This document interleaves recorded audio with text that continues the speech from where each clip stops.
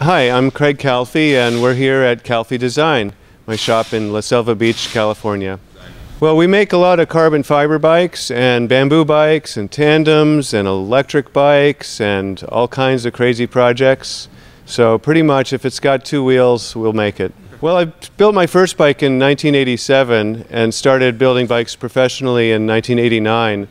Uh, we became known as a carbon fiber bike builder when Greg LeMond chose us to uh, build bikes for his team in the 1991 Tour de France, as well as the 92 and 93 uh, tours.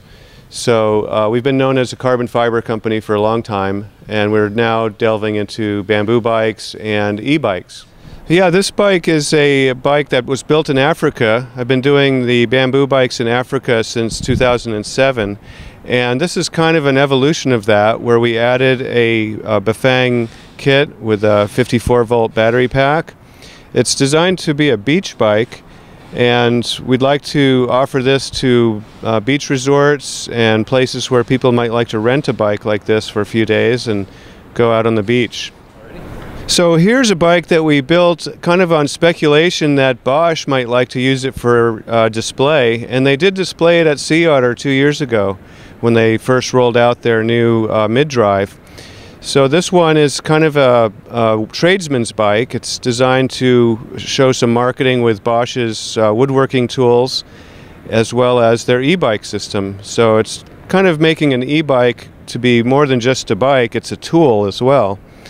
And this one had a couple of features that I have since removed. One was the saw blades that we uh, had for disc brake rotors. You may have seen those pictures a few years ago. But uh, they didn't work as well, so we just put regular rotors back on. But it was a lot of fun to build, and it uses uh, tool handles for grips, and the fork blades are axe handles.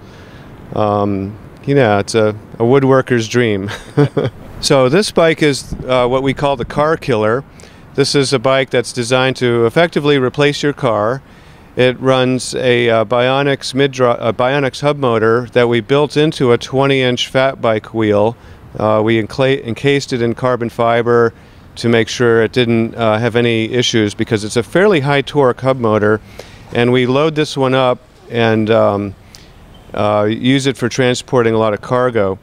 The uh, the sides here, I'll bring the boxes out to show you, but these, the boxes clip onto the side. So yeah, this is uh, the bike with the cases on it. Um, this one just came back from Burning Man. It looks like it got a little tweaked, but um, yeah, it can carry a lot of heavy stuff, and it's uh, it's like a truck. Yeah, these have optional locks. Uh, they they lock to the bike uh, from below. You have to open the case to actually access it, and the cases are lockable. This one has the lock. And it's designed kind of as a contractor's bike. In fact, this bike was built alongside another one that was built for a solar panel installer who liked to uh, run all over the San Francisco Bay Area. And he needed five batteries to uh, get all his range. But he carried a ton of stuff on there and had a lot of steep hills to deal with.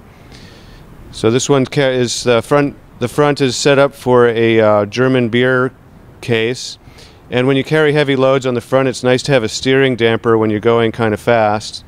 So that really helps keep things stable when you're coming down the hill. So here's an off-road tandem. This bike is a whole lot of fun and also runs the BionX uh, D-Series uh, hub motor. And this one just gives you that extra boost you need sometimes when heading up the steep hills. And it really makes it fun for bringing people out on a bike ride that aren't necessarily super strong cyclists, but you can still have fun and go fast at the same time. Well, there's calfeedesign.com, of course, and our Facebook page and our Instagram feed. So, you know, I'd love to have you check it out and look for e-bike news because uh, we're in the middle of developing a lot of new stuff there and hopefully we'll have a production e-bike ready.